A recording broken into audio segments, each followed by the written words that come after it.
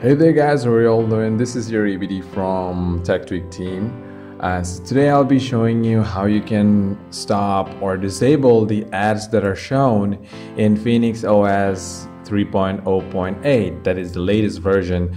So it's quite easy. So there is only a few steps that you need to follow. So first and foremost thing that you need to do is to download an application known as Link to SD. Link2SD. So the link uh, for this application will be in the description. So you can go ahead and download that application now from the play store and just open that application up. And after that after opening up the application you will be needing to uh, grant root permission. Just hit access root permission.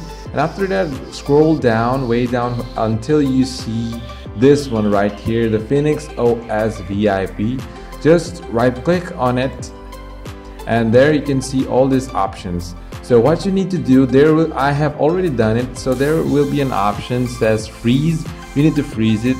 But don't but remember don't uninstall the application. Because if you do then after reboot the application will reappear again and the ads will be shown as usually. So for that you need to freeze the application.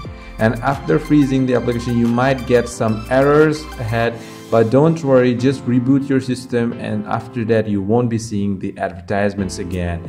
And so as you can see myself if uh, uh, whatever things that i open the ads don't yet appear. So that's pretty much it guys. So that's the quick video tutorial about showing you how you can stop the ads uh, in Phoenix OS 3.0.8 and thank you guys for all your support for my previous video about showing you how you can solve PUBG mobile uh, zombie modes uh, lag on Phoenix OS. I really appreciate everyone. Thank you everyone for making this happen. And uh, yeah, that's all what I had. Uh, God bless you all. Thank you. And yes, do subscribe to my channel for more videos. And whatever problems you have, guys, about Phoenix, do feel free to let me know. I'll be surely helping each and everyone. And I mean it. So that's all, guys. Have a great day and God bless you all. Thank you.